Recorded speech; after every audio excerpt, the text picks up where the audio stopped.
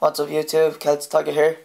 Thought I'd do a quick video in honour of my uh, favourite card, uh, Dewloren Tiger King the Ice Barrier, and uh, highlight some of the uh, decks I think he could be most useful in as I think he's a pretty underplayed uh, card and I think he should see more play. Um, uh, some of those decks are uh, Junk, Doppel and Tengu Plants and also Heroes. Um, Absolute Zero. Uh, that's just a few of the plays that, that I mean.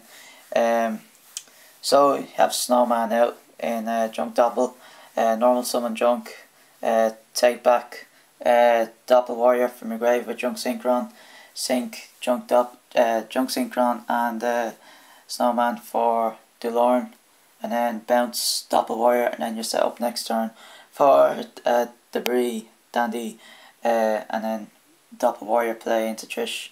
So it's pretty good in a Junk Doppel deck. Sets you up pretty easily for a Trish play. Um, with a Dewloren on your side of the field as well. Um, in Tengu Plants, uh, it's pretty good as well.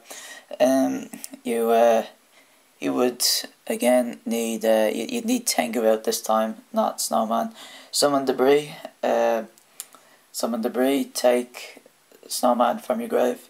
Uh, bounce Debris with uh, Birdman. Sync Birdman and Snowman into Dewloren.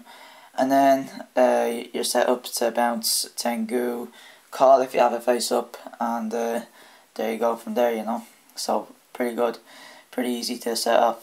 Um, in Heroes, uh, it's a little more situational, but still, still happens, you know. Um, have a snowman uh, and a penguin on your side of the field, uh, and uh, Veiler if you're running it in your hand, and uh, if you if the if the situation suits, which it does, believe it or not, sometimes, uh, normal summon the Veiler, and then you can go into uh, Dewloren there since Veiler's a tuner, and uh, since yeah now you can uh, reuse abuse that Stratos, um, so pretty good without the need for Ocean to bring it back to your hand. So yeah, so uh, let me let me know what you guys think about that, guys. Uh, comment, rate, subscribe, and uh, thanks. Peace out.